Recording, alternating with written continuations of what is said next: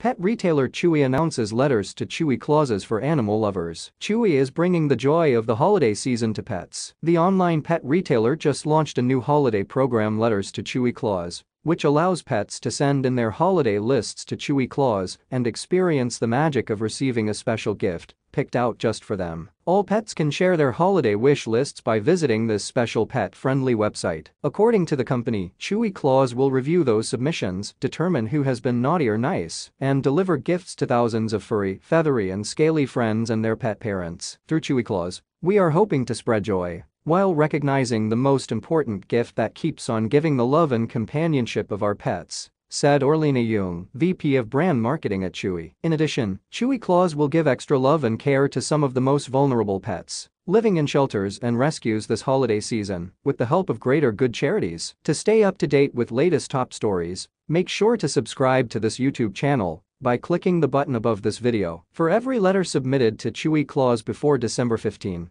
Chewy will donate one pound of food to one of their non-profit partners, up to £15,000. Chewy will also match customer purchases in the form of a product donation up to $1 million per week for a potential total of $10 million throughout their season of giving which runs through January 3, 2023. The donations will mean that pets living in shelters and rescues will receive toys, treats, food and other essential items this holiday season.